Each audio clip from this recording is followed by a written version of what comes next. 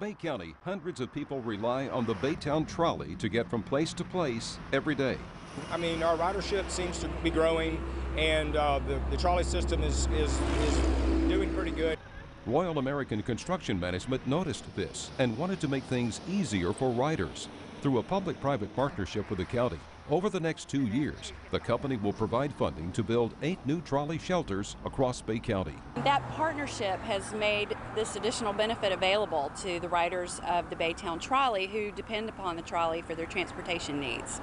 County Commissioner Tommy Hamm, who sits on the Transportation Planning Organization, says these shelters will provide riders with several amenities that most stops don't have. Across the street is just is just nothing more than a, a sign in the ground. So you know, having a having a cover, a bench, and a trash can, you know, for them to put to put the trash is, is important. The new shelters cost around twelve to thirteen thousand dollars each, and two of them are already active. One is at 15th Street and Lisenby Avenue, a hotspot for riders. They're strategically trying to put them in places where the ridership is the most.